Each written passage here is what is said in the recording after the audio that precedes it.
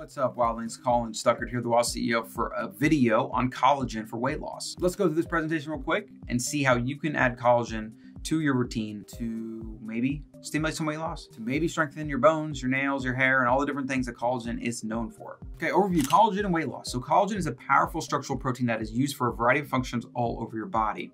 Studies have indeed found that consuming collagen has some impressive benefits, especially considering that your body begins to produce less of it around the time you enter your 30s. I'm 35 and I can attest to this. It seems like in my 30s, there's all these nagging health things that are starting to crop up. Whereas in my 20s, I could pretty much do anything I wanted, sleep when I wanted, eat when I wanted, and I might feel not great for a day or two, but it seems like if my routine isn't on point, that even like today, I didn't get a lot of sleep, not feeling that great. It always seems like it's something. That's why your nutrition, your health, your supplementation is of paramount importance and then staying consistent. One of the benefits of collagen protein is that collagen can help you lose weight if used within the confines of a natural way of eating and a basic fitness, exercise, or movement routine.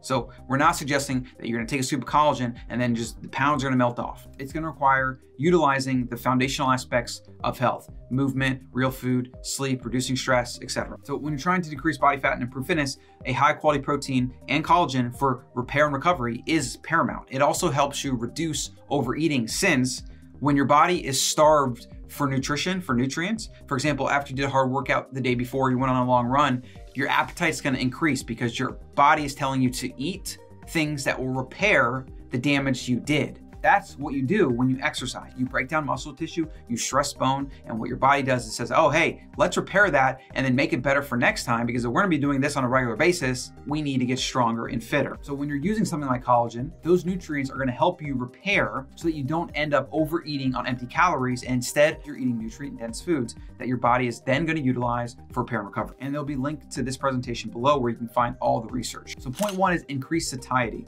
adding collagen to your diet, maybe it's in a cup of water, maybe it's in a smoothie, a shake, a morning coffee.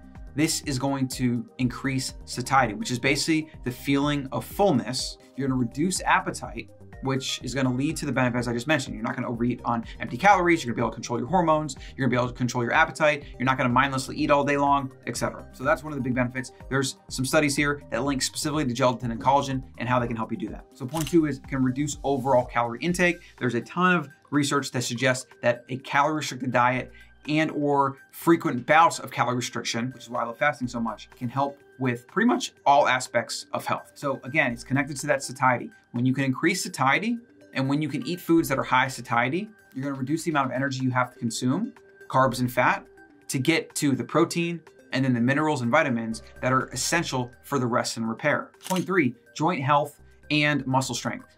There's been a ton of research around collagen. It is why it has become a very popular product in the supplement space. It's also been used in skincare and hair care products for years because of the benefits of elasticity and some research around the benefits of collagen for bones and hair growth and nail health and eyesight even. All these different things are connected. And you can find a bunch of research, obviously on Google, PubMed, or whatever, and there'll be a link below if you want to dig into that a bit more. So point four is not specifically just collagen, but any diet that increases protein. Almost every research study done where they've upped protein in the test subject's diet, there's been more favorable results. Most people undereat protein as it is. And what that means is they end up eating a lot of energy, which is carbs and fat.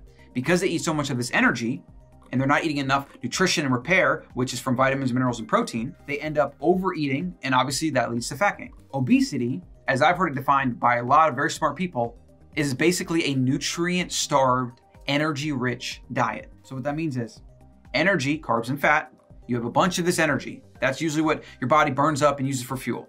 Okay, that's also what readily goes into fat stores.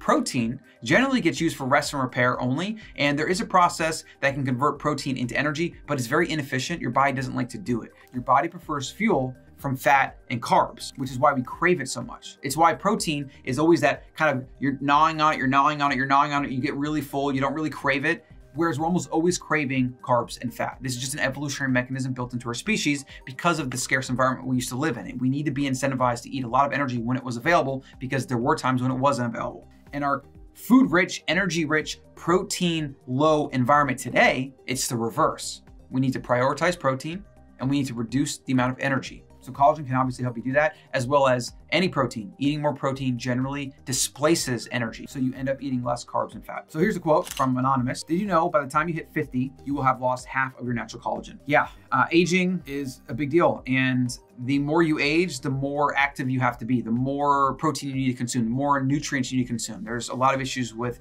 bioavailability and absorption and what your body processes and whatnot. And so you have to continually be trying to mitigate the effects of aging and taking more collagen can help you do that. But of course, we are recommending you eat a well-balanced diet. You eat real food that you're prepping at home from real raw ingredients as close to nature as possible. And then you're getting outside, you're getting sunlight, you're moving, you're sleeping eight hours a night, you're spending time with friends and family, and you're having a purpose. These are all the principles of the wild lifestyle. And if you want to learn more about that, head over to wildfoods.co and hop on our newsletter and you can get the free lessons right to your inbox. That's it for today. If you like this video, give us a like, follow along, subscribe, and I'll see you in the next one.